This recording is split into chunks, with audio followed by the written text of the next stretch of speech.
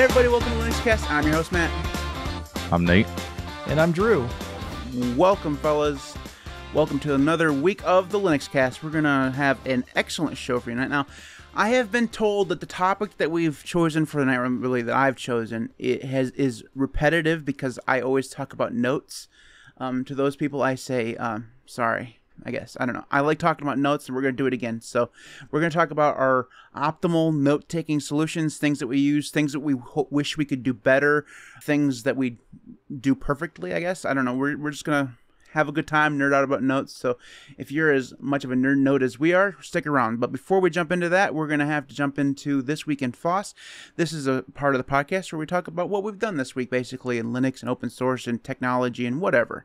Uh, you know me in rules. So, uh, Drew, take us away, please. So this past week has been an utter blur I mean, I remember recording with you guys like last week, but it seemed like yesterday to me. And that's never a good thing when seven days have passed and I can't tell you anything that I've done over the last seven days. For those of you uh, following last week's podcast, I did say that we just got power and Hurricane Milton, between working and helping cleaning up and gathering quotes for repairs, I've not actually done very much with regard to Linux, I did install Nextcloud on this, uh, the Jitsi server that we are currently using, and I'm kind of working on that.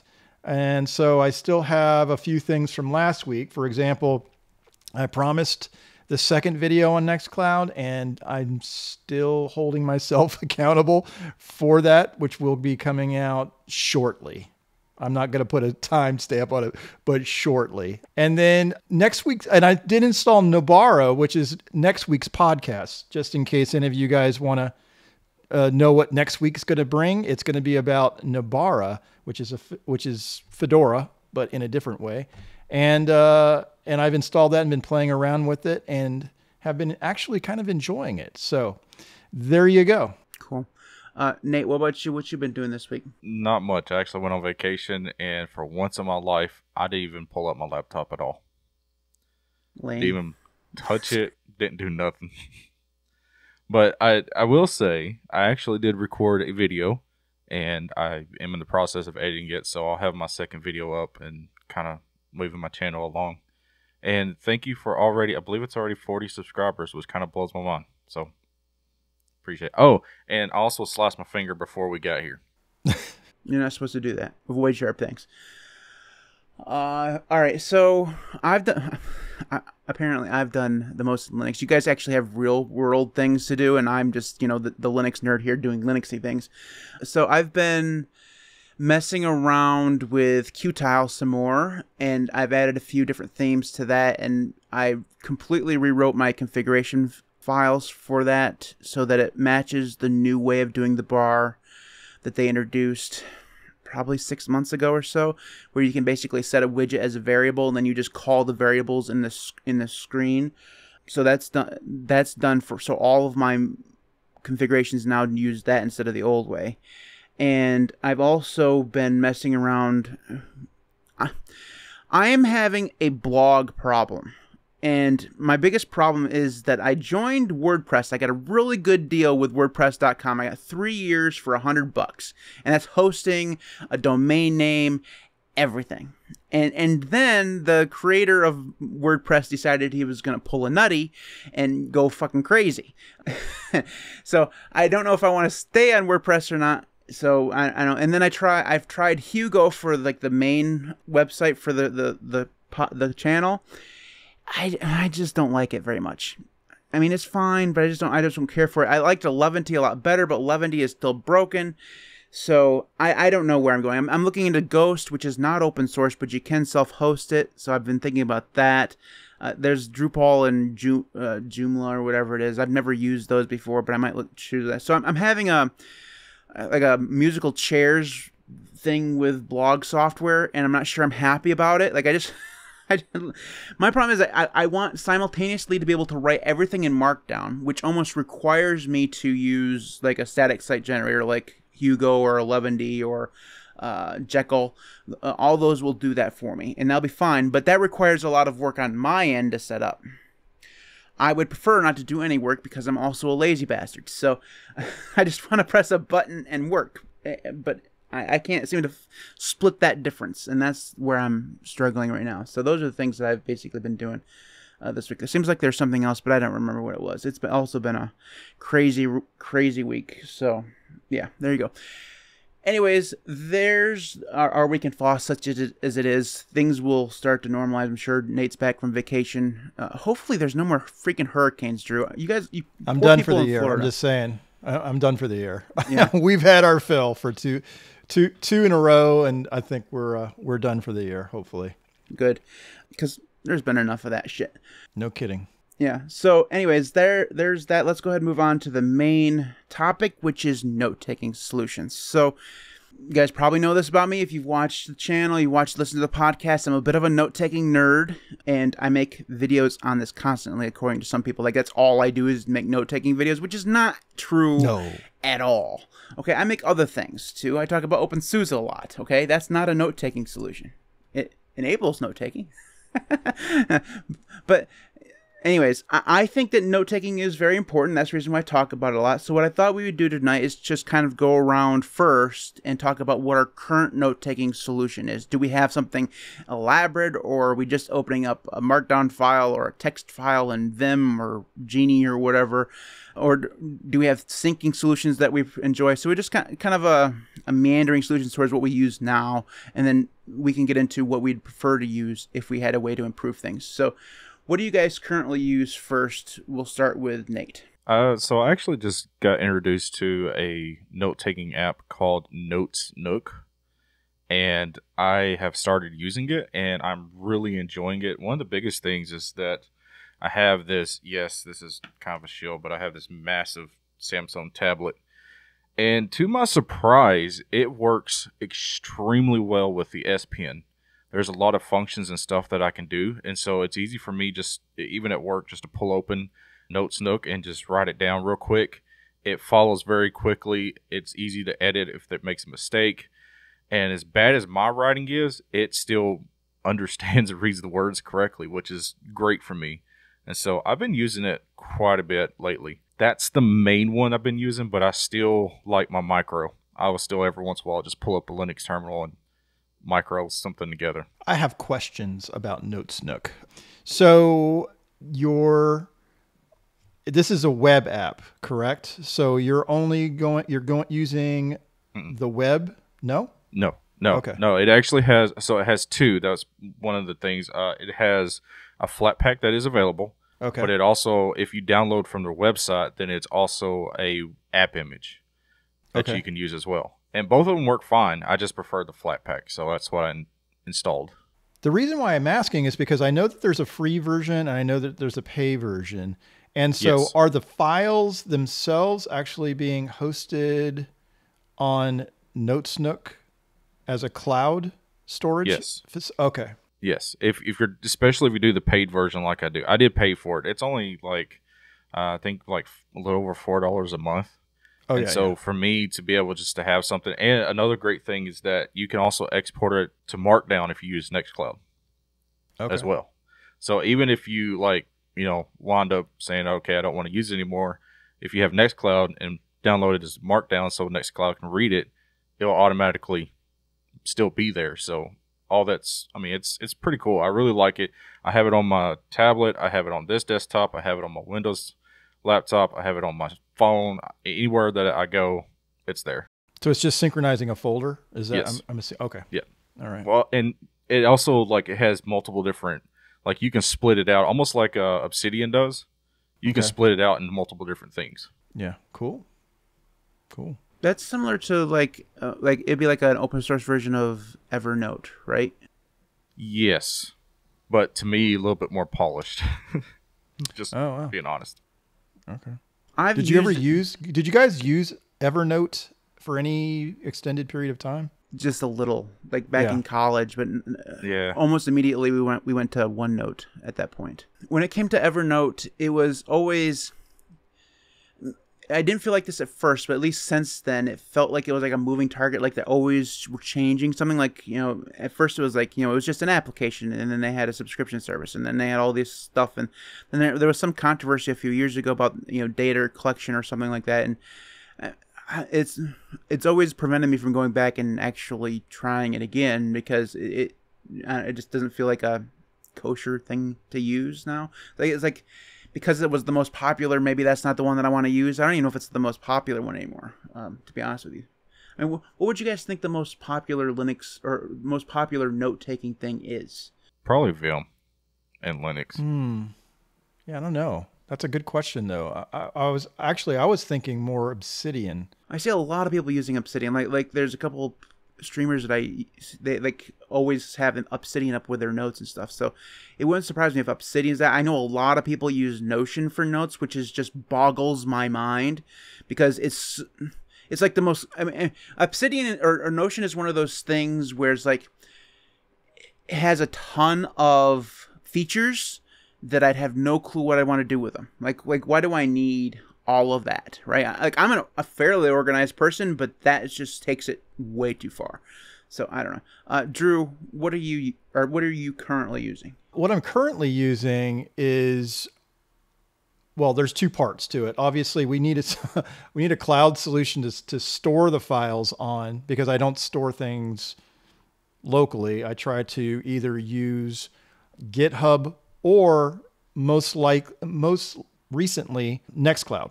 So with Nextcloud, I just have my notes folder or directory and then I use for software on, you know, for actually editing the markdown files, I just still use Geany. And I use Geany for just about everything for writing bash scripts or markdown files or anything. And the way you set it up, I remember showing Matt like a couple months ago or more that when you set it up a certain way, like I hit like Alt period on my screen and it shows the markdown preview of whatever I'm writing that particular markdown file. And it is a plugin. It's an additional plugin that you would use uh, within Geany called Markdown or something similar to that. Markdown Markdown Preview. I think it's just called Markdown Preview. Anyway, that's what I'm doing right now. I've tried lots of different things, and occasionally, like with no, to uh, to Nate's point, I will use it like a terminal editor, whether it be Vim or Micro sometimes. But overall, 90 something percent of the time, I use Geany to actually create and edit my markdown files. Yeah, Drew, I blame you for most of my problems. Did you know that? You know, there's it. There's a there's a huge difference when we're talking about like notes because there's like little notes, big notes, and then documentation, and then like what is it called third brain or something like that or second brain type stuff where you're doing a bunch of stuff that I can't even cons- I can't even figure it out at all. So yeah, I I understand your frustration with me, Matt. I so you point so a, a, few months ago you pointed me towards an application called Iotas and yeah that solved my problems i thought. Like i thought that a combination of Iotas and uh, nextcloud would be like that's my solution. I left google keep. I don't have it installed. I still don't have it installed. My problem is I, I was in a stable solution. Like like i didn't like google keep but it was the solution that i was using and it was fine. So I used I'd used it for years, right? And now because I'm a tradi- in traditional Matt fashion, I was I discovered other things to try, and because my ADD connection, I have to try everything, right? And I'm not, and because of that, I'm never really truly happy with what I'm using, and that's part of the reason why I think that I. I mean, I, have always tried like every note taking application out there, like. It, I mean, people always accuse me like Matt, you you change your mind too often. That's true, but I also I have a YouTube channel. I make content on this kind of stuff, so it just seems like I'm changing stuff. But I, I think right now my note taking situation is a mess, and I don't like it. I, I, mean, I have a way of doing things. So like I, I I have Nextcloud set up.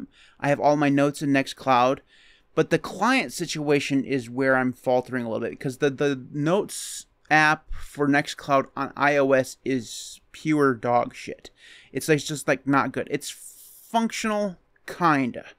It looks like it looks very bad, uh, and it that and not to be a snob when it comes to UI design, but the lack of a good design does impede its functionality a little bit because it's so, there small touch targets in, in in there make it harder to click. sometimes I'm tapping on things. Part of that is because I have big fat mat hands, right? But it, it just makes it really hard to, to think and and if it reads everything out of the notes directory, which is you would think would be okay, but because of my organized br- or mi- misorganized brain, I like to have subdirectories in there, and some of those I don't want to appear in the application. I would rather just have a dedicated directory uh, for that. So I had to move the stuff that I'd normally put in the notes directory outside of it, so it doesn't include it, get included in the client on the mobile phone.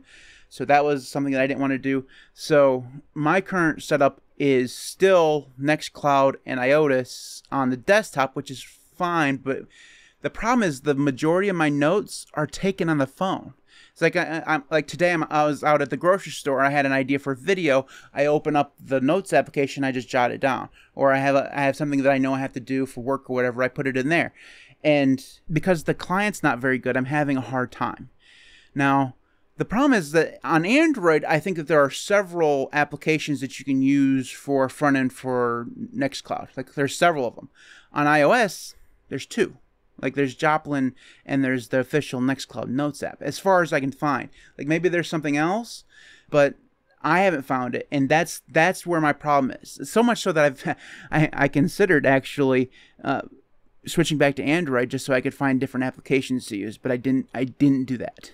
Um, I had instead I bought a new keyboard, so I did. I can't. Uh, I'll talk about that later. Anyway, it was my current situation is just is just a mess. But Nextcloud really is the like. I, I think that there's two things we should talk about. First, we could talk about the clients a little bit more themselves, and then we'll talk a bit more about the the syncing solutions that we've tried over the course of you know the years or whatever. Because I think sync is an important part of it. So do you guys have any problems with the current way that you're synchronizing your notes? Is there a way that you think that it could improve? Go ahead. I was gonna, Sorry, I didn't. I was going to jump in, but go ahead, Nate. No, you can go ahead. I'm trying well, to think I mean, head. so I think there's two major. I mean, to me, there are kind of two major ways to do this. One would be like we've been talking about with Nextcloud. The other one is going to be a, a Git, like GitHub or GitLab. But you know, Nate just said something about Notesnook I know that there are there's standard notes as well that has, I guess, a service, a cloud-based service as well. And there, you know, there are other things that probably I can't even think of right now.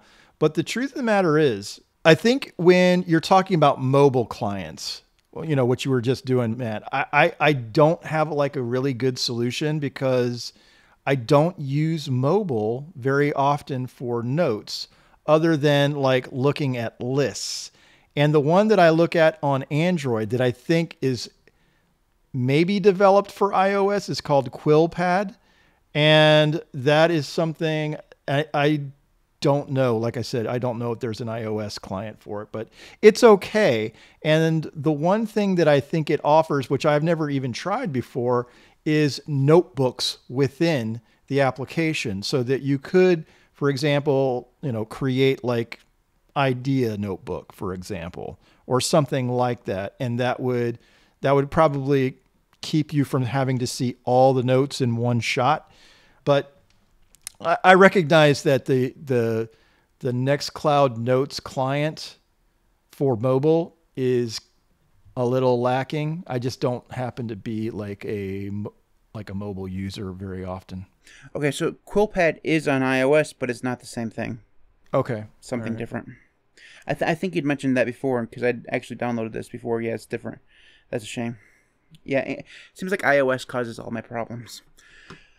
Uh, what about you, Nate? Is there is there something about your syncing solution right now that you would want to improve, or probably once I get my server fully set up with Proxmox and under TrueNAS, probably figure out how to way to get my Nextcloud to immediately sync to my TrueNAS would probably be what I want to do. I can help you with that. Just saying. okay. Yeah, that I mean that's really the only thing that I because I want to be able to use my application it immediately syncs to my Nextcloud. I can you know do Markdown, and then have it automatically just go straight to my to my um, TrueNAS, which I know that with running Proxmox and then TrueNAS, it can be a little bit finicky, but I'd rather do that than just a straight TrueNAS, personally. I wanted to say that I did read a couple of the uh, comments, by the way, and one of them, uh, Purple Dragon says, Standard Notes has one of the best mobile note interfaces I've used. And Matt, just because we both use Proton Mail, uh, Proton has decided they were going to actually create a business relationship with Standard Notes. That's not part of their actual their their stuff yet, you know, but Standard Notes is going to be integrated within Proton Mail at some point. I'll send you a, a link to the article because I think it is an inch. It was back in April that they announced this uh, this relationship with Standard Notes, and uh, that's something that I'm looking forward to to see what they what they do with that. So did they buy standard notes or is They may have. I don't remember exactly the the article specifics, but I remember that they the CEO or the head of, of Proton Mail said that they had acquired their or did something. They they're now incorporating them into uh, they wanted to incorporate both communities basically. Because one of the big note taking applications was bought by Automattic. I'm not sure which one. The problem is there's like there's two that have really s- like similar names, Standard Notes and like Simple Notes or Simple something like that. One of them was bought by Automattic. Yeah. Well, I know Standard Notes was the one for Proton, so yeah. Um. So so. My, my thing is like I'm not opposed to using something else, even something that takes me outside of Nextcloud. I, like I'm not opposed to it. What what I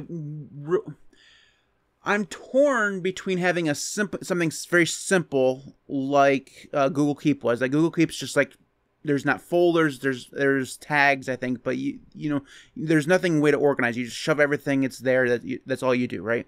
and then there's some you know like something like Note, Notesnook that does like literally everything that you'd want it to do, or Obsidian that you'd want to do, and I don't know which direction would make me happier. It feels like if I I take more notes if it was simpler, right? Because I'm not going to be messing around with tinkering with all the cool features, but also there's cool features over there. you know, I, I want cool features, so I, I that's my always my overarching you know problem with with any of this stuff is because it's you know, I, am not sure which direction there I want to go, and, and the, the more infrastructure I put into like Nextcloud, the more I like I, like I want to I really like Nextcloud, and Notes is primarily one of the reasons why we talked about that on on that one podcast, right?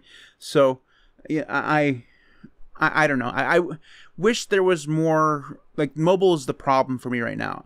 Like really, to be honest with you, and that's where I'm going. And it has nothing to do with the syncing; it's more with the clients. So, if if there was, do you think that I? I'm just asking the question. I mean, because I thought that you were enjoying IOTAS is because of its simplicity. Is it not? It works. Is it too simple? I guess is the question.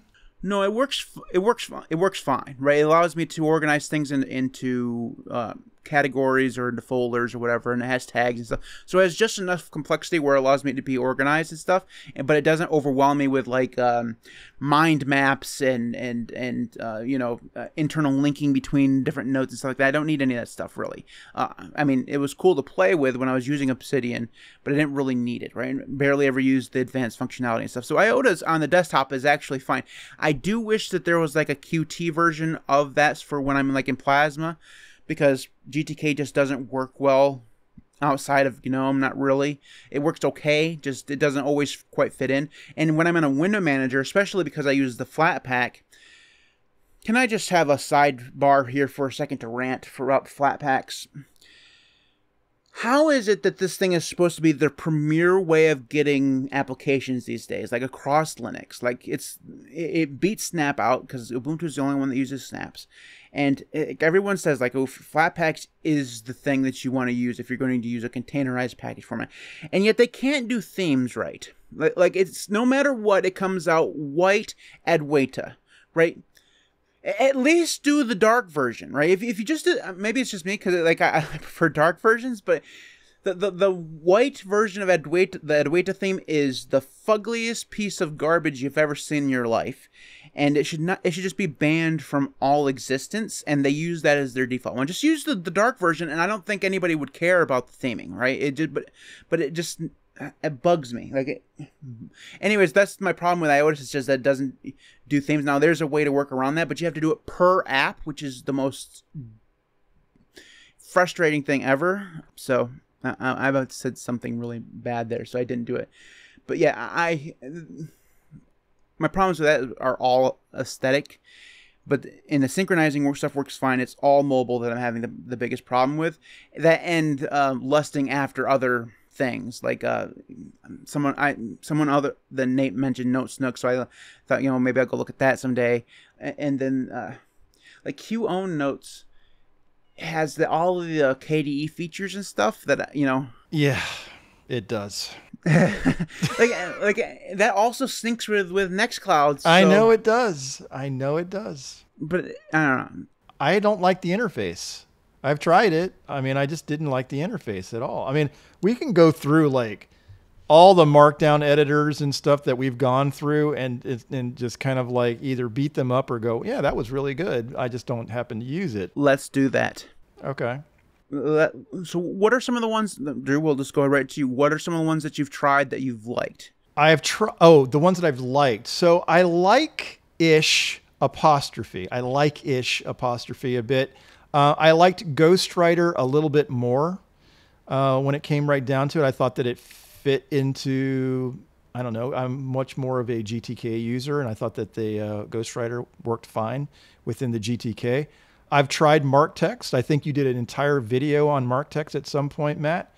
Uh, I thought that was really good. It's not being developed, even though one of the forks for MarkText is being is is still working. I I liked I I really liked the um, Zettlr. There we go, Zettlr. I thought that was good. And if I had to maybe use a full like kind of environment, I think maybe Zettlr would be something I I would choose to. I in fact I did it at some point for about a month until I was just like no, I just I just didn't like it. It just seemed more it seemed to be overkill basically. And I think that's where a lot of us kind of either choose our markdown editor of, you know, get because it's either too much or way too little and we have to fall somewhere in the middle on this because, like I said, I have tried Obsidian, I've tried Joplin, and I just thought those were too much for me. So I needed to have something a little bit more scaled back. Nate, what about you? What are some ones that you try that don't use that you liked? Probably, I really liked Joplin for a little while, but I had problems with the sync constantly, and so that eventually pulled me away from it. And after that, I kind of just used Micro for a while and also Samsung Notes, which they mm. sync. That's about it.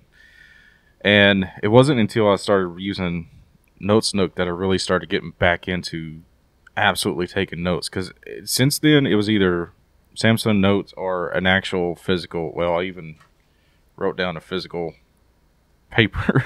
You were so and that was old. basically yeah, I, I, know, but th- that was basically all I did, and I have you know like well, I have a collection of books of old tech books that most people just throw away. They don't care, but to me, they're history, and I'll still buy them, and I like to you know put them in a bookcase. I'll read some, and to take notes, I would just do it you know physically. I'd have my book in front of me, and I would just use pen and paper.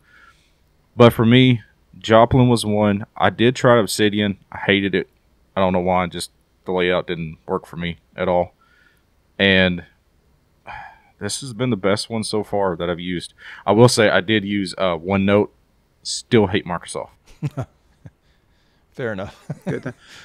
Drew, what was uh, you mentioned some of them, but what I know you went through uh, a you did a whole video on ones that you were that you tried. Were there some there that you like absolutely did not like? Well, I mean, I really wished I'd liked one note. Sorry, one note. I mean, Own Cloud, Own Note better. I wish I'd liked. Is it Own Note? Am, Q Own right? Notes. I think you're Q Own Note. Yeah, I wish I'd liked that better because of its synchronizing with Nextcloud. I just didn't like it. I just had like big problems with it. Uh, the one thing that I was surprised that I liked, though, Matt, was actually using VSCodium with plugins, with certain plugins.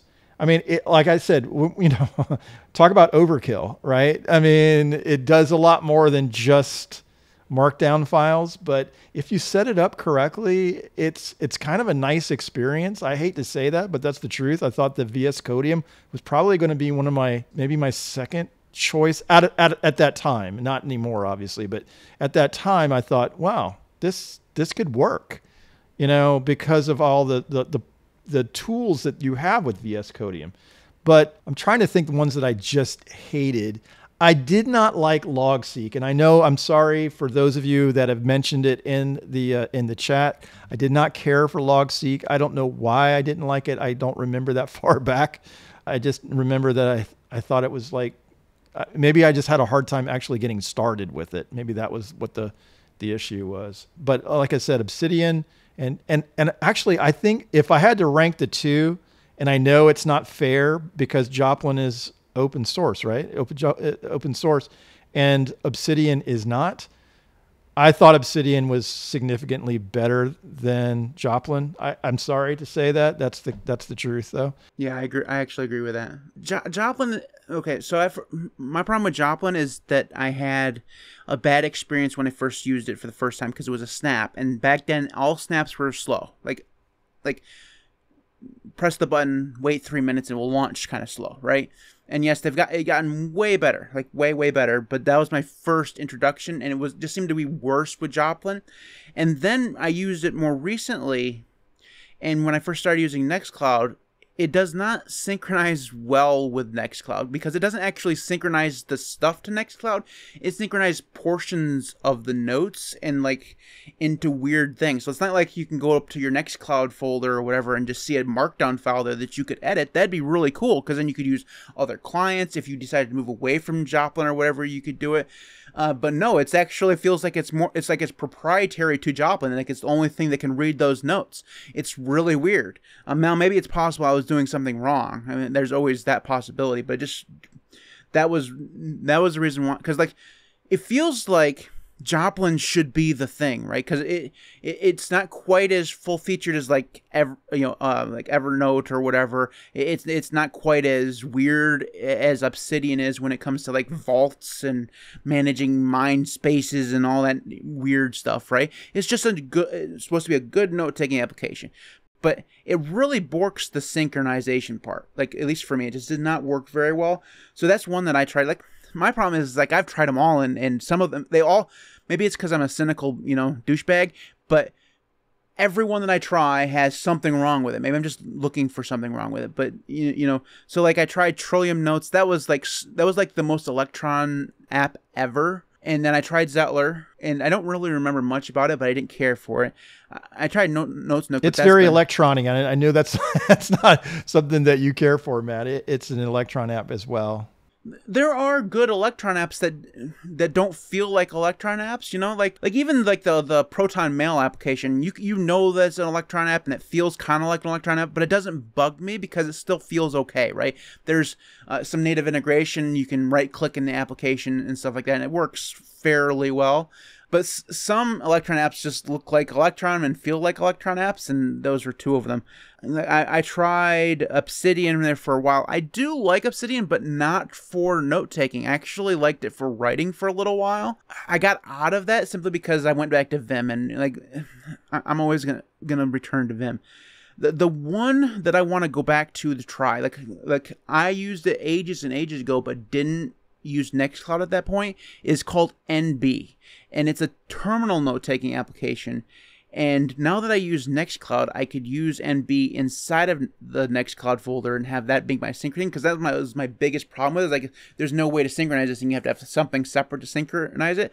Now that I use Nextcloud, I have that solution, and I think that that could be the for at least for the desktop a solution for me if I decided to not use IOTAS anymore because I'm always in the terminal anyways. When I want to take a note, I'm often there and being able to have basically what what amounts to an alias to take a note and with some note taking features added in that could be really good. So i want to revisit that. I don't even know if it's still maintained to be honest with you. It very well a lot of these things have been a couple years since i looked at them so things come and go.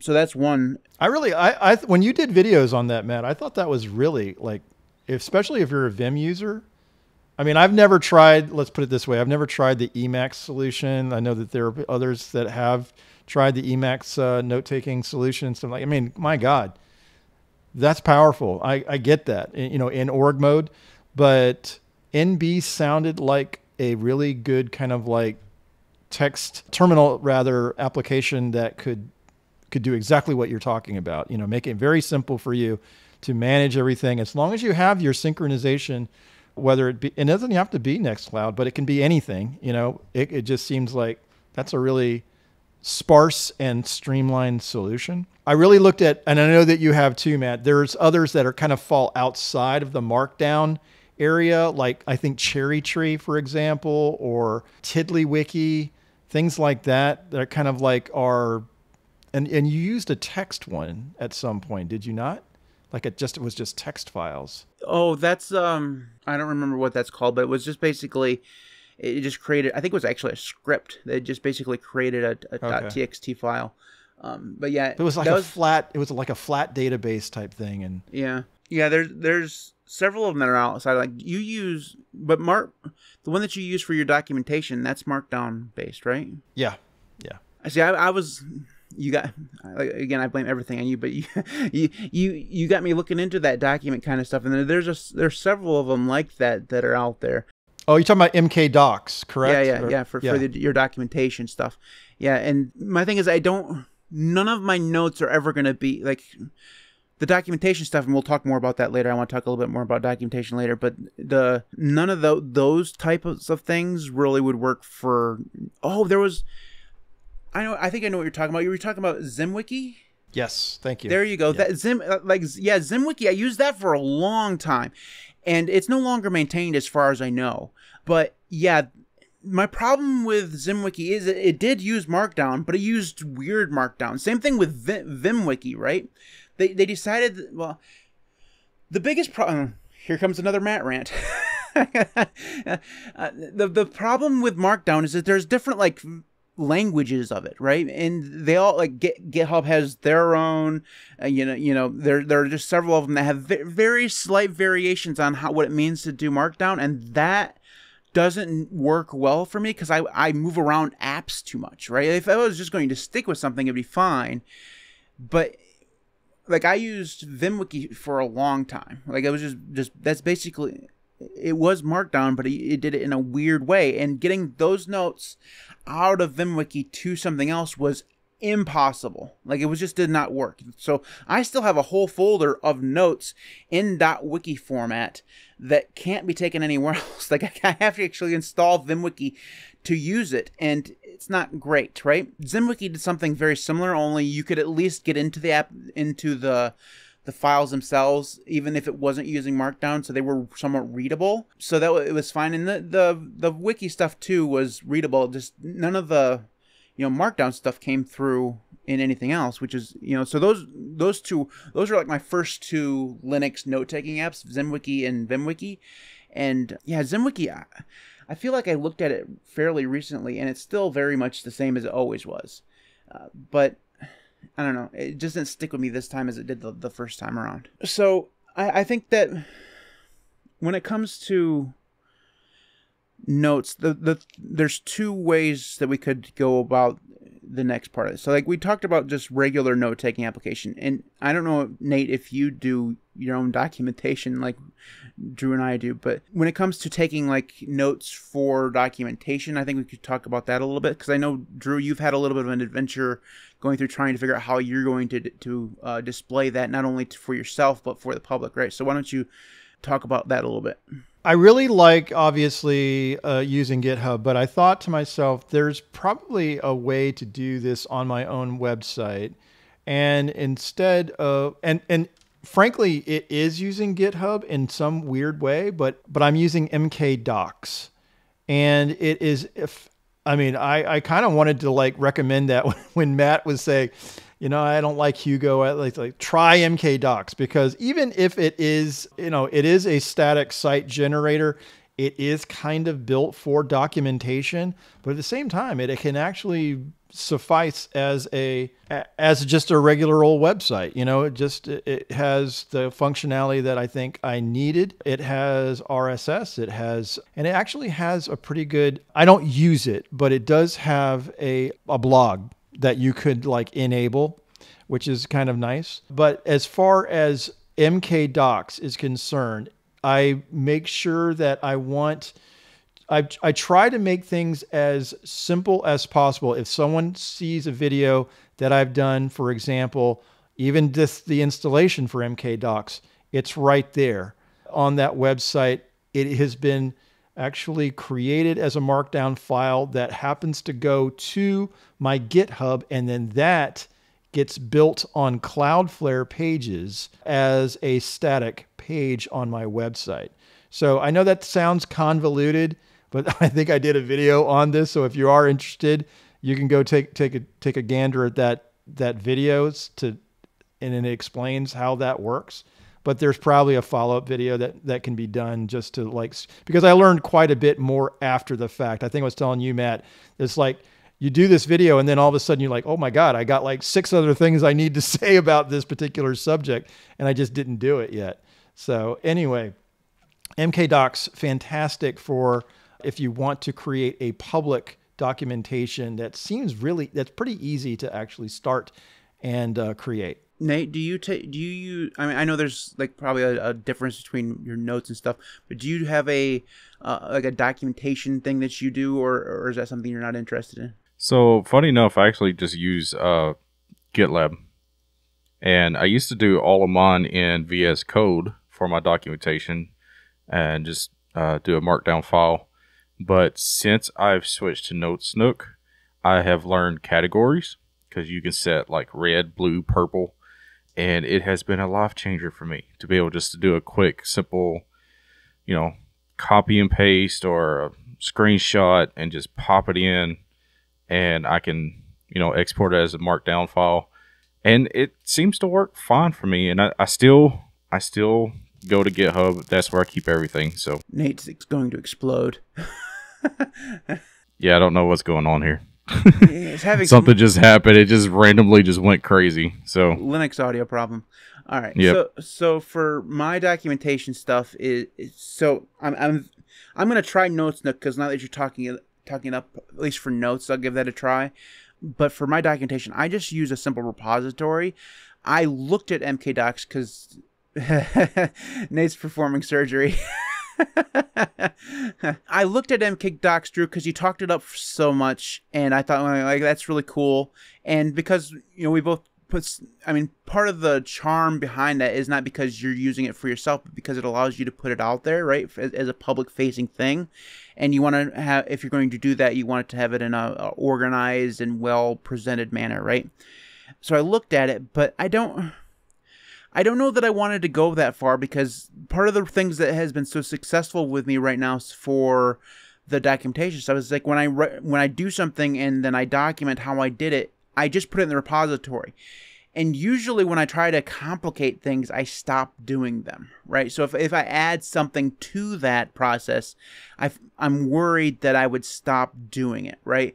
And I don't, I, that's just more of a personality quirk, not anything against MK Docs, but I feel like the more simple way of doing it is that it's just a repository. I just put a markdown file in there. I have a I have a an alias I can use when I need to create something like that, and like a staging directory where I can just put stuff, and then I can go organize it when I need to, and that works out so well for me that I think that that's the way that I want to do it. But from a from a public facing perspective, I think that GitHub or, and GitLab offer some interesting hurdles because they when you go to GitHub and GitLab, they look like GitHub and GitLab, right? You know, and and it's I think that for our type of documentation is not that big of a deal because all the stuff that I do for that, and I think for most of the stuff that you do, it's gonna have something to do with you know window manager or an application on Linux or some code or something like that and that works well enough on GitLab. But outside of that, maybe it wouldn't work. So if I were going to expand outside of what you know the Linux sphere, that wouldn't work that well. But overall, it works fine for what it is.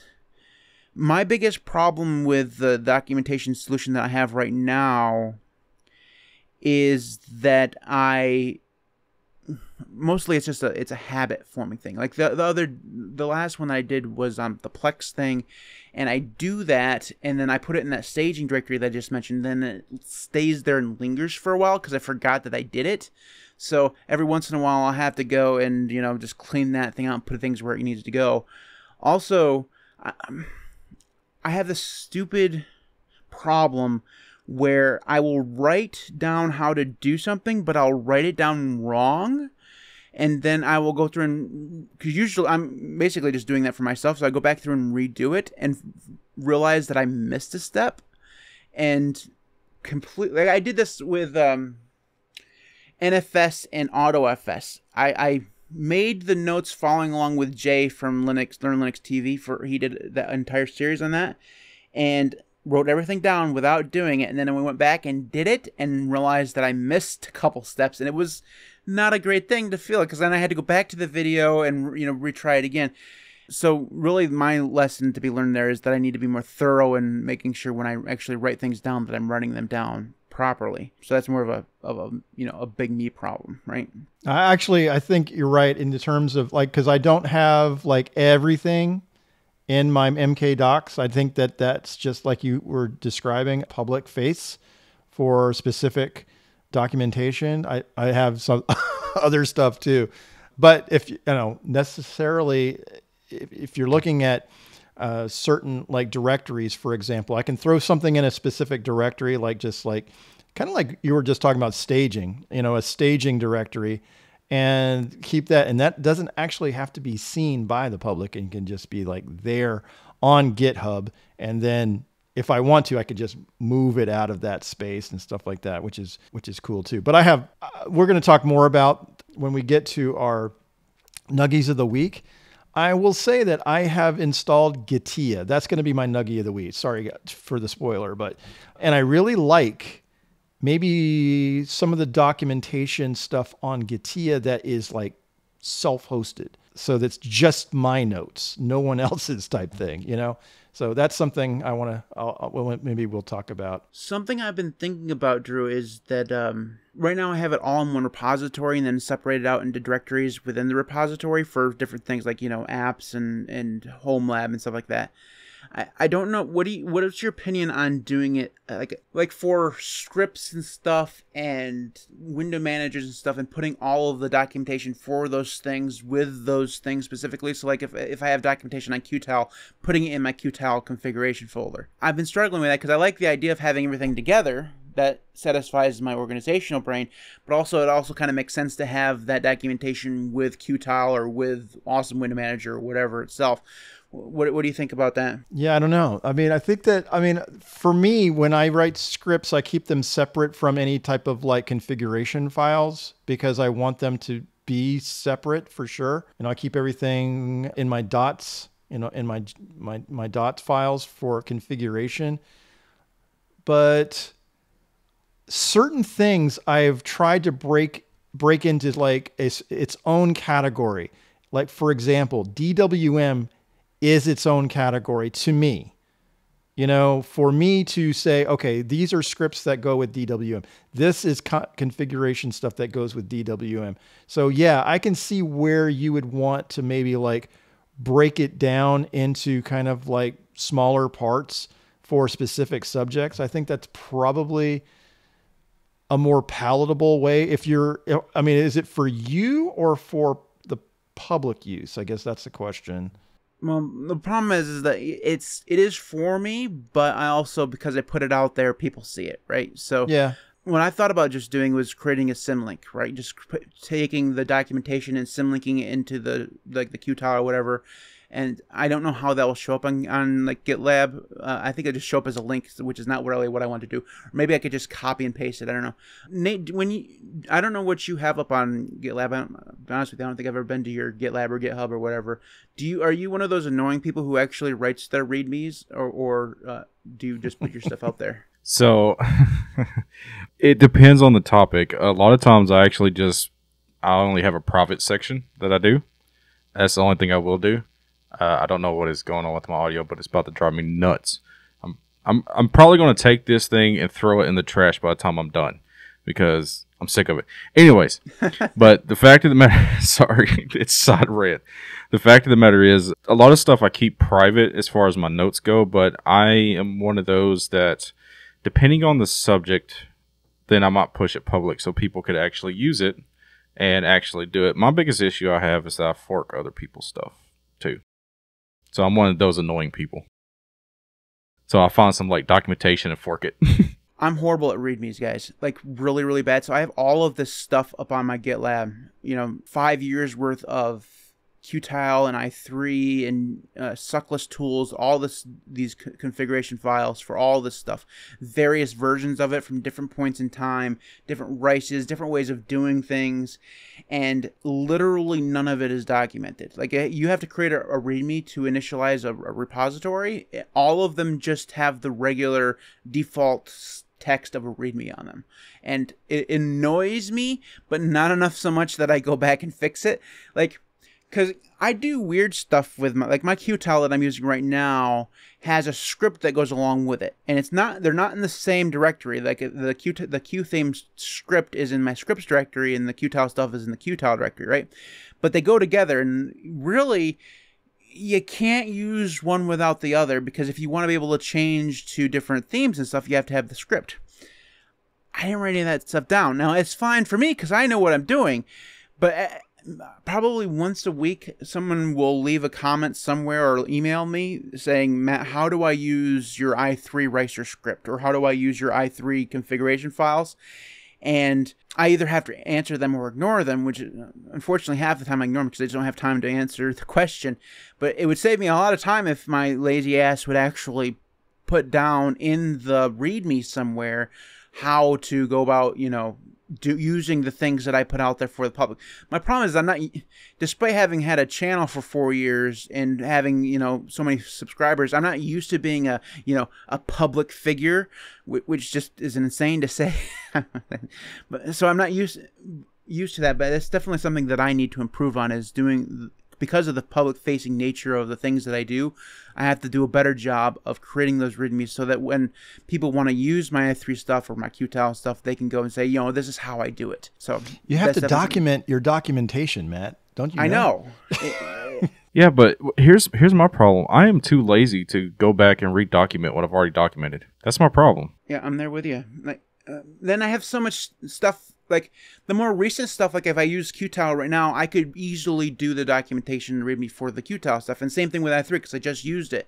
If I wanted to go back and, and document stuff for like DWM, it would be harder because especially my older DWM stuff, I did stuff differently than in the more more recent DWM stuff. So the older stuff that is still out there, you know, is really use at your own risk because I'm not gonna be able to help because I have no clue what I did.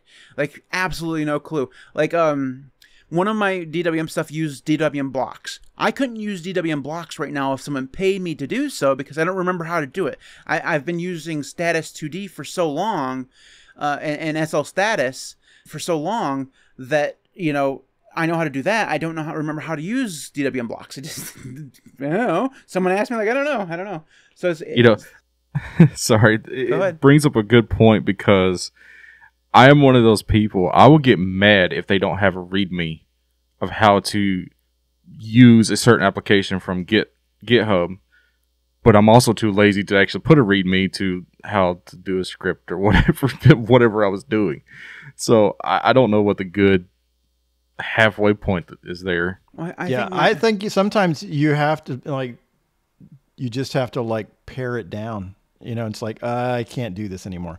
So you remove it or you put it like archive it somewhere as a read only and just say, I, I think I've done that a couple times where I just say, uh, this was good for uh, Debian Bullseye, not good for Bookworm or something like that. You know, it's like, oh, it doesn't make sense to use this particular method for what you've got going now. Because, like, for example, I mean, remember i3 gaps was a completely separate project at one point. Now they've merged their code and now it's i3 is i3, but I mean they had there was two completely different source codes. That's a good that's a good idea to go through and either, just kind of put everything all the repositories that I know I'm never going to document and just put it in an as is folder. Like you want to use this stuff, you're on your own. But I think so I, am this I, am probably going to have a couple projects. So the the I have two big projects that I want to over uh, kind of take over. And one of them is this README thing where I go back through and just some of the more recent stuff, at least, actually document things that I've done in those things. Not only for the public facing nature of, you know, the channel or whatever, but for me too, because it will allow me to go back and use some of those things and relearn the things that I've forgotten. Because I like I, I couldn't set up Awesome Window Manager right now if someone pay me to. I've done it a couple times, but I don't really remember the things that I used to do. Now, and I'm very, very poor with Lua, so I'd have to kind of recreate myself that. So that's one example, right? So there's stuff like that that I could do. So that's one big project that I really do want to sit down and do.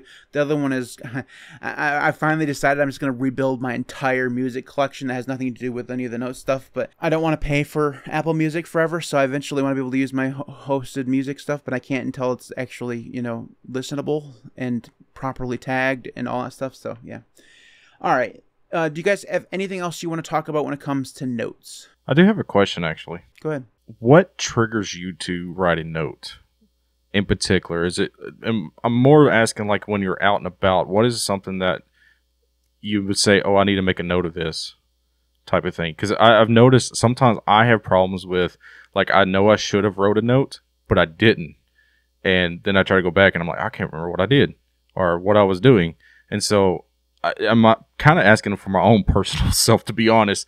What is something that helps to trigger you to like, okay, I need to do a note right now? Oh, well, for me, it's just I have a random thought that I need to write down. So usually, it's you, my biggest one, at least for the the channel or whatever, is like, oh, that's a cool idea for a video. I'm gonna write it down, or I have a cool idea for a story that I want to write, or a, a, book that I want to read, or something like that. Uh, so there's that, and then when I'm actually reading a book or something like that, I'll often go through and take notes in a note taking application for that just because I don't write in the you know, margins. It's easier to find if it's somewhere you know that I can find it. So that's usually what I do. Um, but also I, I have notes open. Like IOTAS is always on a workspace for me, so I always have that there. Like it's always open. So yeah, I have the same thing. I have Geany open all the time, and it just happens to be like you know, there's a uh, the tree browser is there, and so if I want to, I can just insert a file. But the other thing is, I've written two scripts basically for the terminal. So and since you use micro uh, sometimes, Nate, it's just like a I have one script that just says new note. And, and you so you're in the terminal and you say new note and it actually creates a, a date specific markdown file and then opens that file in whatever your editor would be. Okay. And then you can just start typing something within that markdown file. I, and then I have another script that just says, uh, that's just notes.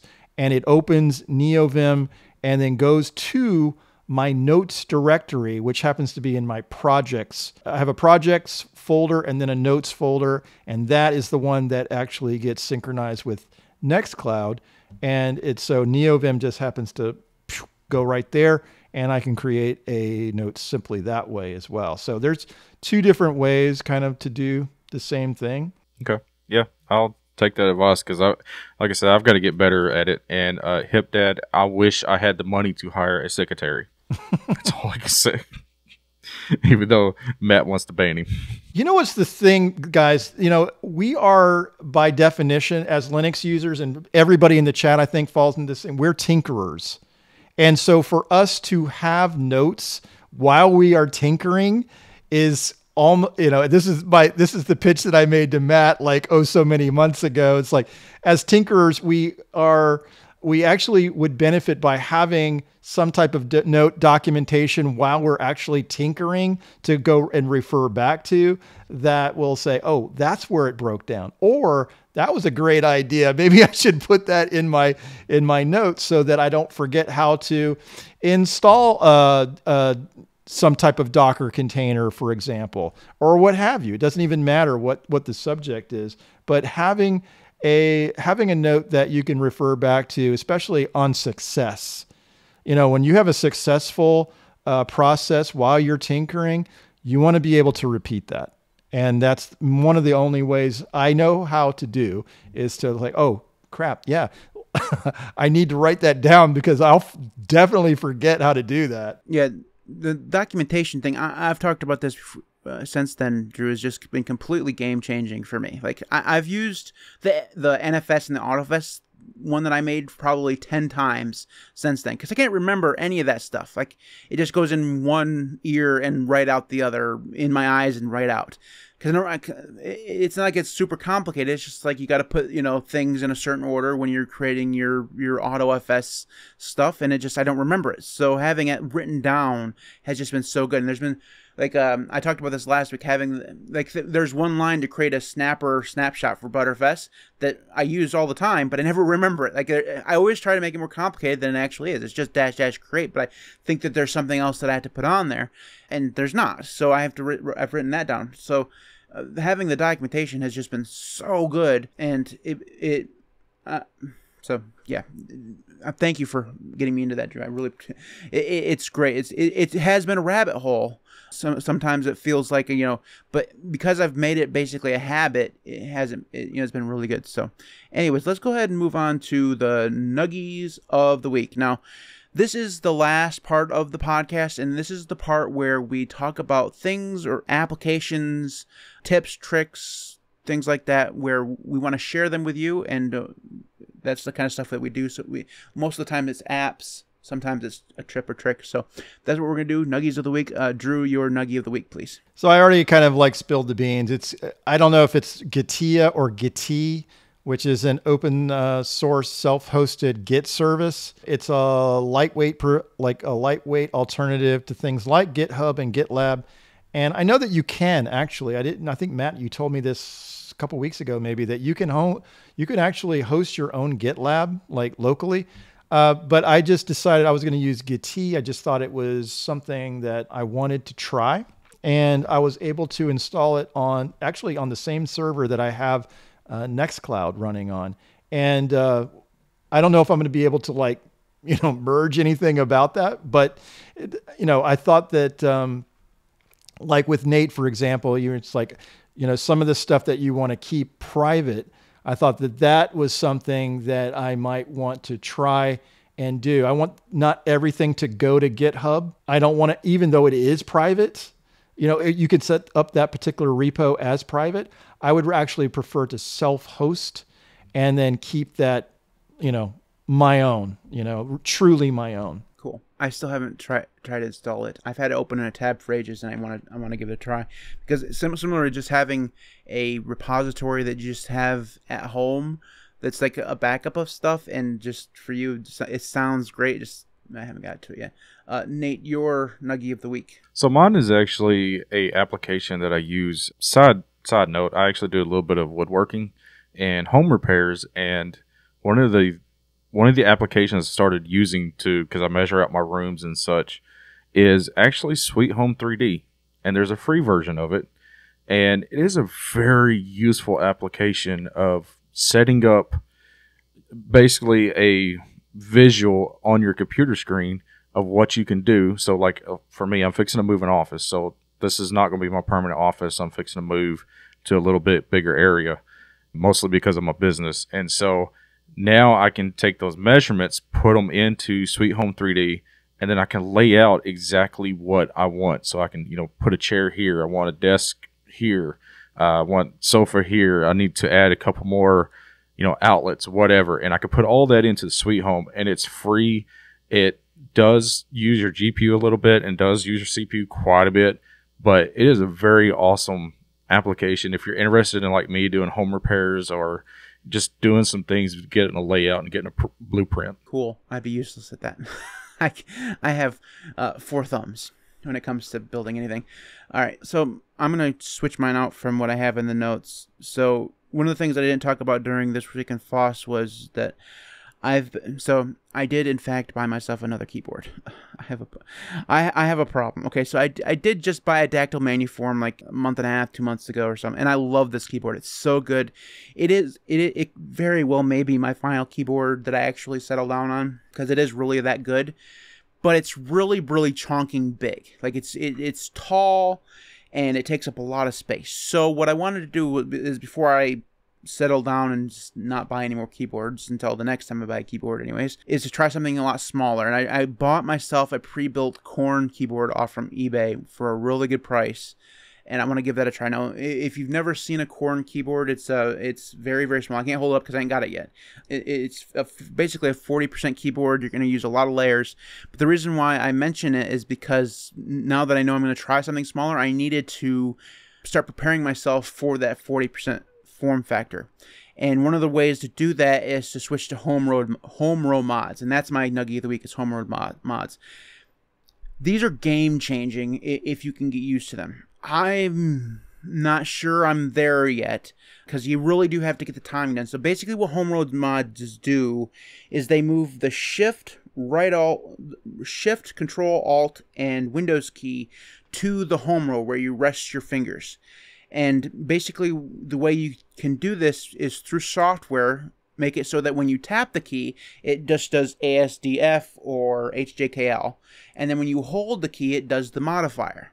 So, like, for example, I had S be both S and Shift. And what that allowed me to do is basically keep my hands on the home row and still use the modifier keys. It is I'm surprised first off how easy it was to get used to. Like I, I thought it was gonna be like a, a something I had to take months to get used to. Within like 10, 15 minutes, I was used to it. It was very, very good. I will say that the biggest problem though is that with the technology, the way you control the keys in terms of hold and tap, it requires you to kind of time the difference between a tap and a hold. And getting that timing down to the millisecond is very important and very freaking hard. I haven't got it there yet. So I, I got mo- I got to the point where it will work 90% of the time, but every once in a while I will roll the keys so I'm kind of pe- pressing three at the same time. So I'm basically typing too fast and it will do a, do a, a boo boo. Like it'll press the key that I'm not supposed to do.